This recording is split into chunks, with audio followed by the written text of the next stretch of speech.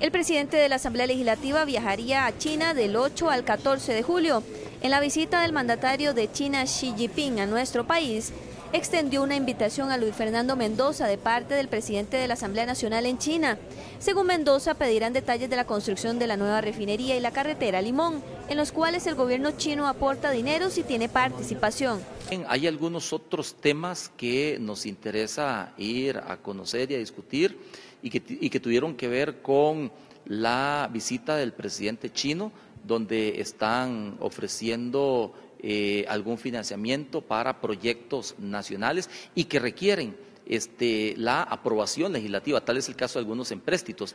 Entonces, quisiéramos también conocer en algún detalle cuáles el, eh, las condiciones, cuáles son los, la información básica de toda esa digamos, de, todos esos, de todas esas ofertas que nos dan. La invitación china también abarcaría a algunos otros diputados, pero aún no se define quiénes. La invitación está de presidente a presidente, sin embargo, eh, informalmente también en las conversaciones que hemos tenido, eh, nos han dicho que, que, sí, que la invitación es, es, es amplia para un grupo eh, de diputados. No sabemos exactamente la cantidad, pero, pero sí la invitación, digamos, se amplía para, para para otros diputados. El programa de actividades de viaje no se conoce en detalle porque aún se está definiendo. Este viernes el presidente del Congreso sostendría una reunión con el embajador de China en Costa Rica precisamente para detallar la agenda.